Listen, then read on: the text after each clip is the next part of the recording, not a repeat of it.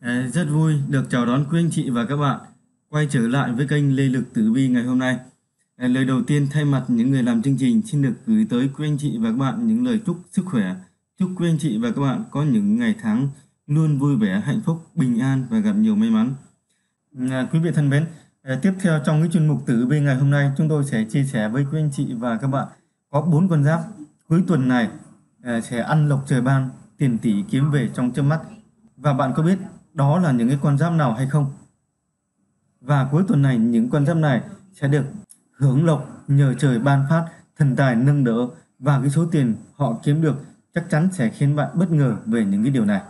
Vậy thì đó là những cái con giáp nào mà vì sao mà những con giáp này lại may mắn đến như vậy? Và bây giờ chúng ta sẽ cùng tìm hiểu về thông tin bốn con giáp này. Thứ nhất đấy là tuổi dần.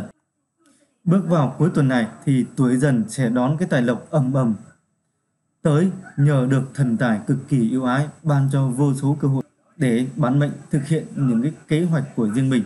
Đây sẽ là cái thời điểm tốt để con giáp này phát triển việc kinh doanh buôn bán. Hãy cố gắng để nắm bắt cơ hội này bởi sẽ chẳng dễ dàng gì cho người làm ăn trong thời điểm dịch bệnh này. Không nên bỏ lãng phí cơ hội hiếm có. Thần tài sẽ yêu ái con giáp này nhiều hơn. Vào cuối tuần này, những chú hổ nên dồn toàn lực để khai phá hết những cái tiềm năng còn chưa được khám phá của bản thân. Bạn sẽ khá vất vả nếu chỉ có một mình mình xoay sở, vì thế nên có kế hoạch chi tiết rõ ràng, sắp xếp thời gian hợp lý để không mất nhiều thời gian cho những cái việc không cần thiết. Kiếm được nhiều tiền không chỉ cần may mắn mà còn cần năng lực, cần đầu óc nữa. Tuổi dần đừng quên điều này. Và con giáp thứ hai đấy là tuổi tỵ.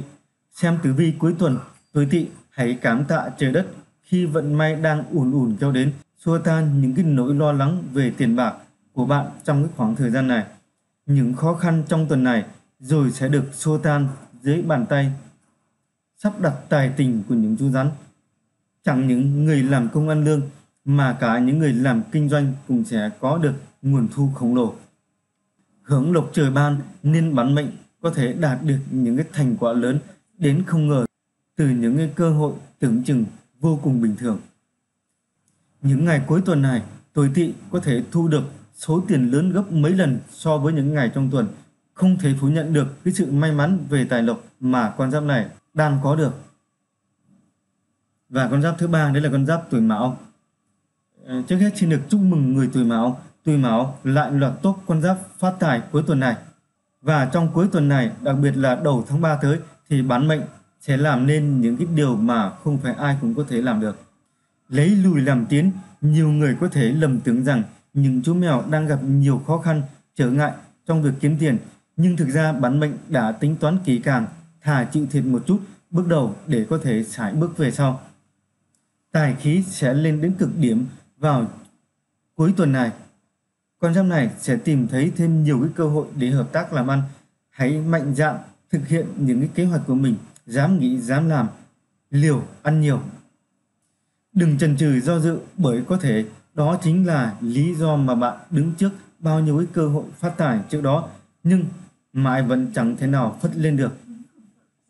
Tuổi mão hãy thử sức mình, thử thách bản thân một cách khốc liệt hơn để tìm ra giới hạn cho bản thân mình. Số tiền nhận được sẽ là phần thưởng xứng đáng cho những nỗ lực của bạn. Và con giáp thứ tư cực kỳ may mắn trong cuối tuần này nữa. Đấy là con giáp tuổi ngọ. So với những con giáp khác thì tuổi ngọ sẽ có được cái nguồn thu nhập không tồi trong cuối tuần này. Đây là cái điều mà bản mệnh luôn mong mỏi, nhưng không phải lúc nào cũng may mắn có được.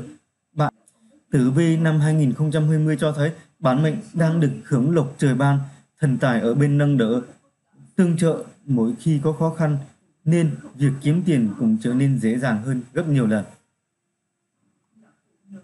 Cả nguồn thu chính và nguồn thu phụ đều gia tăng rõ rệt và con giáp này có thể tự hào rằng mình đang làm rất tốt, thậm chí còn vượt ngoài sức tưởng tượng chính của bản thân. Cuối tuần này, tiền về nhiều như nước, hãy lên kế hoạch tài chính để không tiêu xài lãng phí, tìm cách đầu tư để tiền lại đẻ ra tiền. À, quý vị thân mến, như vậy trên đây chúng tôi đã chia sẻ với quý anh chị và các bạn bốn con giáp cuối tuần này ăn lộc trời ban, tiền tỷ kiếm về trong chớp mắt. Và chúng ta cũng đã biết được ta có thuộc vào trong bốn con giáp này hay không.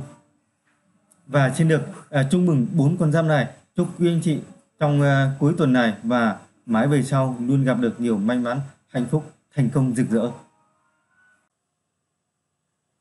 Và xin được cảm ơn quý anh chị đã theo dõi video của chúng tôi.